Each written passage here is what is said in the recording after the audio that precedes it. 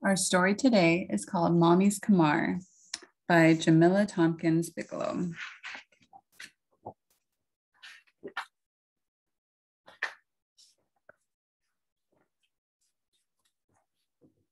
A khimar is a flowing scarf that my mommy wears. Before she walks out the door each day, she wraps one around her head. Mommy's closet, there are so many khimars, so many that I can't count them. Black ones, white ones, purple, blue, and red stripes, patterns, and polka dots too.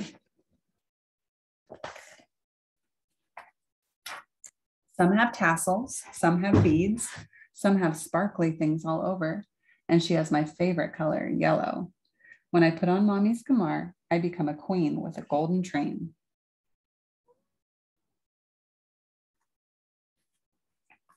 Under the khimar, my braids and twists form a bumpy crown. It's not easy to cover the many plaits mommy puts in my hair. When I wear mommy's khimar, I shine like the sun. I dive and become a shooting star into a pile of clouds. Of course, I make sure that mommy doesn't see me.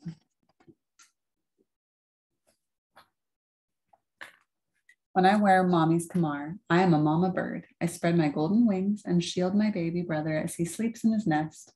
Mommy shakes her head, but her eyes are smiling. When I wear mommy's khimar, I am a superhero in a cape, dashing from room to room at the speed of light. Daddy snatches me up and I fly. Mommy can't stop laughing when his bristly beard tickles my cheek with a kiss.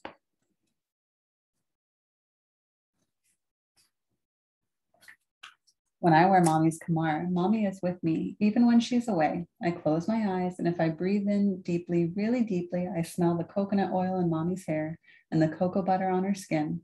And if I breathe in even more deeply than that, I smell the cinnamon in her favorite dessert. She always shares a piece. When I wear mommy's khimar and mom mom visits after Sunday service, she sings out, Sweet Jesus, and calls me sunshine.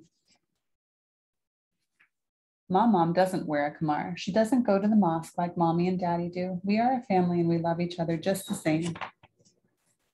When I go to the mosque wearing mommy's khimar, the older women coo, Assalamu alaikum, little sis. Mommy smiles, so proud.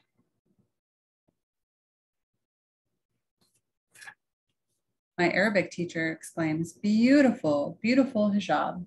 Hijab is the word she uses for khimar. Sometimes I say hijab too. When I wear mommy's khimar and we go home and it starts to get dark outside, mommy tells me gently, take it off, it's time for sleep. She removes the khimar from her head and I remove mine. We hang them up for the night. I look around at all the khimars, too many to count. I stroke the yellow scarf one last time. Close my eyes and breathe in deeply, really deeply. And if I breathe in deeply enough, I can take mommy's khimar with me. I place it inside my head. I take other things and place them there too. A crown with a train, the sun and a shooting star, baby dozing on a golden wing. I take a ticklish kiss in the sky, coconut and cocoa with a cinnamon sweet, and the prayers of gray haired women. I take all these things with me and go to sleep. Though mommy is away, it feels like she comes too. And that is the end of our story today. Thank you for joining me.